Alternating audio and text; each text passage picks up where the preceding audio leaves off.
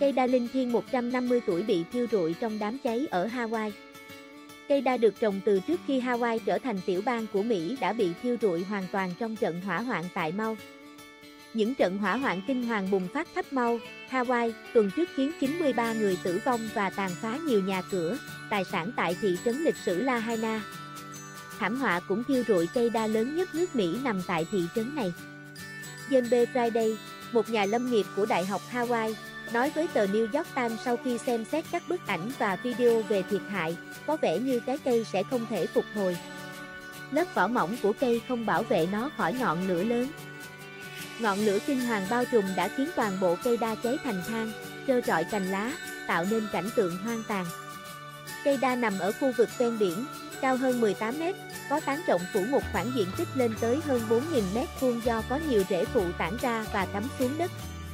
Người dân địa phương thường tụ tập dưới bóng cây để trò chuyện tán gẫu, tổ chức các sự kiện cộng đồng và hội chợ nghệ thuật trong suốt hơn một thế kỷ. Khu vực này trở thành điểm vui chơi, hẹn hò quen thuộc của thị trấn La Haina và khách du lịch khắp nơi trên thế giới. Cây đa còn được mệnh danh là trái tim của La Haina. Thậm chí, người dân còn vừa tổ chức tiệc sinh nhật 150 tuổi cho nó với bánh kem. Đó là trung tâm của thị trấn. Mọi người đều biết nó ở đâu. Cây đa có một ý nghĩa quan trọng đối với chúng tôi, Ami Fakwa, một cư dân mau và là quản lý trung tâm du khách La Haina, nói. Cây đa rất nhiều ý nghĩa, chúng tôi đều có kỷ niệm ở đây.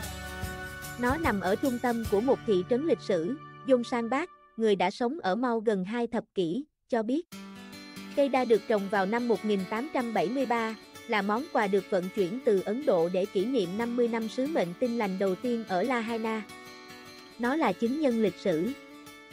Xuất hiện trước khi quần đảo Hawaii trở thành một tiểu bang của Mỹ.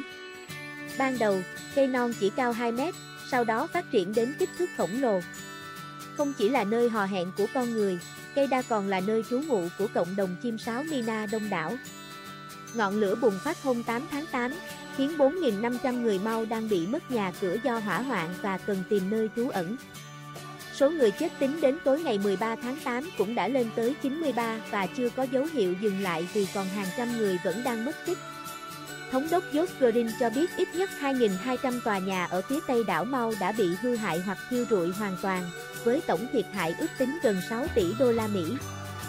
Thiệt hại lớn nhất do hỏa hoạn là ở Lahaina, gần như toàn bộ cơ sở hạ tầng của thành phố nghỉ mát này đều bị hủy hoại. Sức nóng khủng khiếp của đám cháy còn khiến nhiều cư dân không còn lựa chọn nào khác ngoài việc nhảy xuống biển để tự cứu mình.